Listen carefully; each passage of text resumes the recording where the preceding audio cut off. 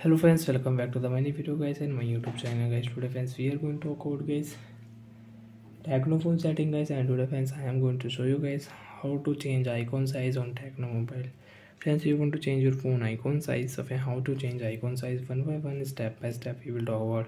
Friends on your phone setting friends you cannot find any icon size setting. Friends you can check icon size setting guys.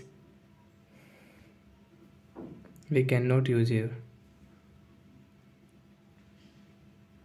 so friends you will have to press on screen. This blank area friends press here. Friends you can see desktop setting. Click here. Friends you can see gesture settings other setting. Friends you want to hide apps click here enter your hide app password and you can hide apps. Friends click here. Icon size. Friends you can see icon size click here. Friends you want to change you want to increase your Tecno phone icon size you can increase left side fence you can decrease. So okay first i will increase icon size. Fence you can see icon size will increase. On our device fence you can see icon size will increase.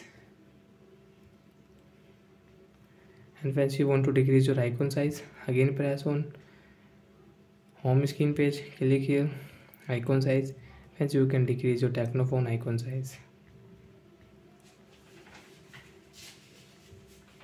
so friends you can increase you can adjust your icon size from here.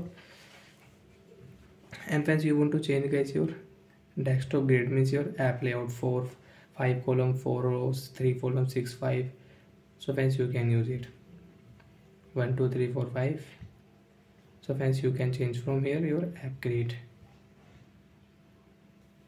Again press on home screen page click here and you can set from here guys as you can see scroll bar direction a to z. As you want to use your vertical horizontal horizontal. So you can change from here. Text color. As you want to change white black custom auto. So you can change from here guys your text color. If you click here you can change text color. When there are many setting guys. Check for update. Once you have app update setting update setting so you can check from here. Unhide recent app friends you want to check. Recent app friends you have unhide any app so you can check here. So like that friends we can use.